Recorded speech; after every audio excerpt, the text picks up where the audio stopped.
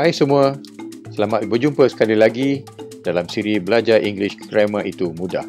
Kali ini kita akan membincangkan kata kerja atau verbs. Verbs terbahagi kepada dua, regular dan irregular verbs. Dalam video ini kita akan dalami regular verbs.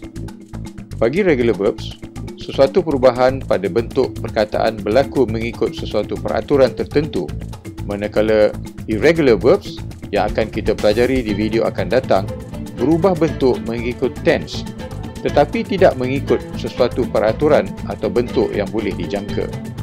In English, there are more irregular verbs than regular verbs. With irregular verbs, you just have to practice and be exposed to the language so that you have enough experience how the verbs take form in different situations. Ini menjadikan belajar bahasa Inggeris itu agak mencabar. Namun, seperti mana yang kita semua tahu, mempelajari bahasa perlukan pendedahan yang kerap dan latihan yang banyak supaya mendapat kemahiran yang tinggi dan hasil yang memuaskan. You know as they say, no pain, no gain. Dalam bahasa Melayu, sesuatu kata kerja itu juga melalui proses perubahan dari kata dasar yang akan menukar makna. Sebagai contoh, kata kerja makan boleh menjadi memakan, dimakan, termakan dan sebagainya. Sama juga seperti bahasa Inggeris, perkataan eat boleh berubah menjadi eats, ate, eaten, has eaten, etc. Okay, let's focus on regular verbs for this session. Seperti mana yang kita katakan tadi, membentuk regular verbs boleh dijangka kerana ia mengikut peraturan yang tertentu. Untuk lebih memahami konsep ini, mari kita lihat secara asas bentuk-bentuk verbs. Let's look at these three basic forms of verbs we have base form, simple past, and past participle. Let's take an example. The word paint become painted and has painted in the past participle.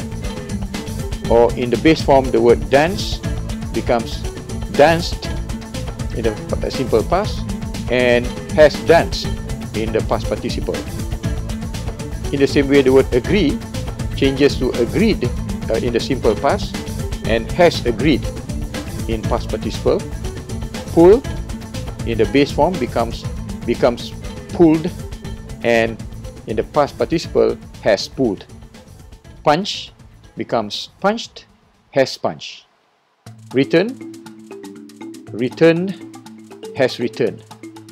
Raise changes to raised in simple past and has raised in the past participle.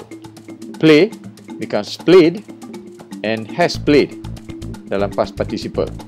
Begitu juga dengan print, simple past, printed dan past participle has printed. Pray dalam base form becomes prayed and has prayed in past participles. In all the above, all you need is to add ed at the end of each word. However, this does not work with all verbs. Dalam arti kata lain, kita hanya perlu menambah ed untuk perkara lepas atau past tense dan dalam past participle pun sama. Namun ini bukan untuk semua kata kerja. Ada kata kerja yang mengalami perubahan selain dari hanya menambah ed di hujung perkataan. Some verbs go through a bit of changes in the past and past participle. But there are rules to be followed. Dan kalau kita ingat formulanya ianya akan menjadi mudah. Sebagai contoh jika kata kerja atau verb itu diberi penekanan di hujungnya seperti perkataan chat ataupun stop ataupun map dan berakhir dengan consonant vowel consonant kita perlu gandakan huruf hujung sebelum menambah ed i.e. double the final consonant and then only add ed at the end of the verb. In this example, let's look at the word chat. That becomes chatted and in the past participle has chatted. Jadi kita tambah lagi satu huruf T selepas perkataan chat. Begitu juga dengan perkataan stop. Tambah lagi satu huruf P becomes stopped and has stopped. Map in the simple past becomes mapped and has mapped ship becomes shipped and in the past participle has shipped. Rub becomes rubbed and has rubbed in the past participle. Begitu juga dengan bag, bagged and has bagged. Fan, fan and has fan. Tap, tapped and has tapped. Dan contoh terakhir, shop, shopped and has shopped. I think you get the idea. But let me list more words in this category so we have a better idea. They include words like admit, not, pat, commit, nod, grab, shred, blood, skid, transfer, clot, regret, stir, star, kid, jut, sob, dub, and many more similar one-syllable words ending with consonant vowel consonant combination. Kesimpulannya, dalam kategori ini, kalau kata kerja itu satu suku kata dan berakhir dengan huruf konsonan, vowel, konsonan, kita hanya perlu gandakan huruf konsonan di akhir perkataan itu dan tambahkan ed pada kata kerja tersebut untuk simple past dan past participle sebagai contoh di atas. Tetapi kalau kata kerja tersebut berakhir dengan huruf W, X atau Y, jangan gandakan In other words, do not double the last consonant with words ending in spelling with W, X or Y. For example, slow, just add ED. You don't have to put another W there. Or row becomes road. Screw becomes screwed. Show becomes showed.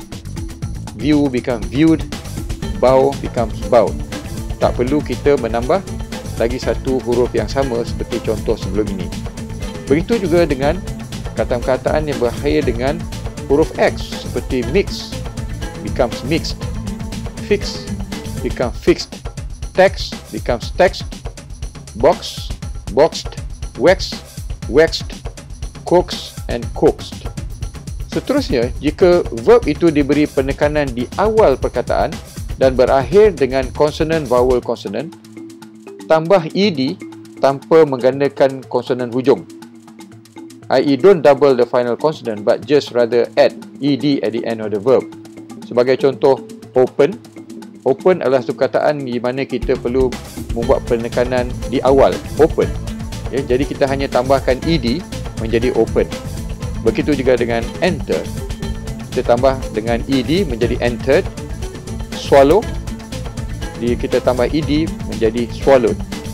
Dan sekiranya verb tersebut berakhir dengan huruf E, peraturannya agak mudah iaitu tambah D dalam past tense seperti thrive, just tambah D, puzzle becomes puzzle, guzzle becomes guzzled, glue becomes glued dan sebagainya. Seterusnya, apabila sesuatu verb itu berakhir dengan huruf Y, anda hanya perlu tambah ED untuk simple past dan past participle. Seperti play menjadi played stray menjadi strayed spray menjadi sprayed slay menjadi slayed dan sebagainya. Di mana kita tidak perlu menggandakan huruf Y tersebut. Saya harap video ini memberi anda pemahaman yang lebih tentang regular verbs dan dalam video akan datang kita akan mempelajari pula irregular verbs Sekian buat kali ini. Wassalamualaikum dan jumpa lagi. Bye.